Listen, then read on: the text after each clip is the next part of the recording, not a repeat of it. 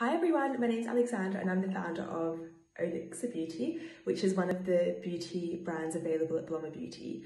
Um, and today I'm going to go through a very like short evening gua sha routine um, for you to follow along with if you'd like to do that um, using our gua sha tool. So if you've not seen um, a gua sha before, it's basically um, a gua sha tool. It's basically a tool that helps with like gua sha facial massage. Um, and what gua sha is, it's a uh, like a traditional Chinese medicine technique that helps to sort of like move energy around the body. So a tool is used to sort of like scrape across the skin to help with um, like stimulating circulation and helping move like the lymph around the system to help sort of like with lymphatic drainage, um, which in turn helps with like reducing puffiness of the skin. Um, it helps to the skin um, sort of to feel a bit tighter and more toned and also due to like the stimulation of circulation helps your skin like feel brighter and healthier as well. Um, so yeah it's a really nice thing to do in the evenings especially before bed because it's a really nice like wind down routine. Um, so this is our gua sha tool. It comes in a little gift box as well. Um, inside it there's a little leaflet which gives you a, a quick like crash course um, of sort of like what to do and how to use it um, if you don't have time to come back and refer to the video. Um, but this is the tool itself. So it's made from rose quartz stone. Um, and as you can see, there's a lot of different sides. It's quite flat um, in shape, but it all the different sides sort of like serve a different purpose when you're using it on the skin, which I'll show you in a moment. Um, but first of all, just a few like like rules of thumb. Um, the first thing is that you should always like clean your tool before you use it and especially if you've just bought it from the store like just give it a good cleanse in just a mild soap um, and then dry it off in the bathroom. Um, just be very careful not to drop it because it gets very slippery and if it um, falls from height onto tiles it will get damaged because it's made from stone so just be very careful with it when you're handling it. So generally you would um, also always use an oil or a serum on your skin before using it because you want the tool to sort of like slide and glide across the skin rather than dragging the skin um, while you're using it. Um, something else to remember is to always sort of like pull across the skin with like a pulling action rather than like pushing in that way. So it's always like a pulling across the skin. And you always tend to use a very like blunt angle when you're using the tools. So rather than like sort of doing it at a perpendicular angle like that, it's quite a flat angle. So you've got maybe like a thumb width between like the tool and your face as you pull it along.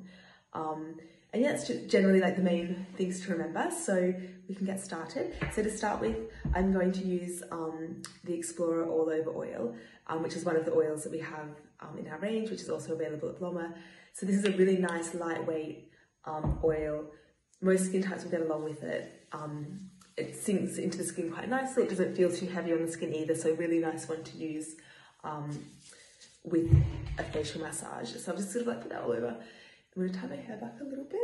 Um, so once that oil's on over your face and also just sort of down your neck, um, obviously you'd also like cleanse your skin before doing one of these routines. So you'd like usually in the evening you'd cleanse, you'd like apply your oil and you'll be getting ready for bed. So it's like a nice like time to start to do it. So to start with, um, you sort of take the tool with this like long side here and sort of like start to like pull kind of up the neck and that will just help bring some fresh blood to like the face area. So you kind of do that and maybe like each movement might be like three to five times, sort of whatever feels good for you. So you sort of bring that up like that and then you can start to use um, whichever angle really feels good for your skin. Everybody's face is different. Everything's everyone's going to find something that feels a bit better than other sides for them. So, for example, we can use like this little ridge bit here. Oh no, sorry, we're going to use this bit here to sort of like hold the skin and sort of pull under the jaw. And then you can incorporate a bit of like a, like a jiggle at the end, which will help to stimulate um, the lymph system as well. Then you can use like this side to kind of pull across the jaw. Again, using that really like nice gentle angle. And you also don't want to pull like push too hard on the skin. You don't want to break any capillaries um, or anything like that. So it's just really like a gentle motion. And again, sort of like pull it up. So the idea is you're kind of working like from the bottom to the top and from the inside to the outside generally. So if you kind of follow that sort of rule of thumb, then you can't go very far wrong. so yeah, so you can start to put like, you know, do like little smaller stages of the face, like across. And then if you, as you like sort of like pull down the neck, that will just help to drain out any like stagnant um, fluid and lymph once you sort of like pulled it across to like where the ear is and then down the neck there. So you sort of like finish it off like pulling it down and across. You can keep doing that. So you just keep doing that as much as it feels good. You can also go sort of like across the forehead and then also like down the neck and then you can pull it sort of like up the forehead as well and then across and down and then some of the other sides you can use this sort of round side if you get sort of puffiness under your eyes you can sort of use a bit of a pumping action sort of under your eye like that which feels quite nice and it helps like in the morning if you wake up you might have like less puffiness under there as well and down um, and then we've got this like jagged edge as well. So you can use this in a few ways. So you can either sort of like use this maybe even like across the brows to help sort of release any tension if you want to. It can be used through the hairline, which also feels quite nice to like comb through the hairline if you get like headaches or you get a lot of stress or you've been looking at a computer screen a lot. It feels quite nice to do that kind of action before bed. And then you can also use this at a perpendicular angle to the skin. So if you get like forehead lines, you can hold so another thing that you can do with this um, bumpy edge is that you can use it perpendicularly to the skin. So if you sort of have lines going over this way, you can sort of hold the skin and sort of make little sort of rubbing actions across the direction of um, any lines. And what that does is help to stimulate circulation in the area and encourage like more blood flow to the region. It also helps to like stimulate the production of collagen so it just helps to like sort of like smooth out um, any fine lines in your skin and helps to release tension as well. So if, especially if you get like if you frown a lot like I do you can sort of like hold your skin there and sort of like rub across there. And then always remembering to sort of like drag with a smooth edge and then down the neck to help with lymphatic drainage um, so once you've sort of done one side of your face you can then continue on um, with the other side you can swap hands if you want to, if it makes it easier for you.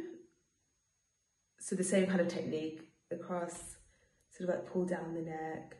Um, you can sort of like use a flat side across as well. And then down, you can do the under eye again. Across and down, across the forehead. Yeah, so it's really, you can just really um, sort of play around with it. You can take like five, ten minutes in the evening just to sort of um, do what feels good to you. And after you do it a few times, you start to get the hang of it and it becomes quite intuitive, sort of what feels nice um, on your skin. But just generally, as long as you kind of follow the principles of sort of dragging across the skin from like the inside to the outside, you generally work from the bottom to the top, then swap sides bottom to top down the neck to help with lymphatic drainage. You can't go, um, you can't really go wrong with it. So yeah, just as long as you do like gentle pressure, like smooth, slow movements, um, you'll start to feel like your skin's sort of feeling like firmer and a bit more like less puffy as well. So in the morning, after you do it in the evening, in the morning, you should wake up feeling nice and fresh um, as well. So it's a really nice one to do just before bed to just help relax you um, and get ready for sleep. But yeah, so that's the gua sha tool. I use the gua sha tool and the um, oil for the routine. Um, they've got both products in Blomma Beauty as well. So if you go into store, you can obviously like check it out in real life, or you can um, also get it online from their website as well. Um, but yeah, let me know what you think. Let me know what um, how you use your tool as well, and if you enjoy using it as part of your um, skincare regime. Also, I'd love to hear about it. Okay, if you've got any questions, you can um, obviously ask Blomma or you ask me directly because um, I'd love to answer any if you've got them. So thank you. I hope you enjoy the gua sha tool.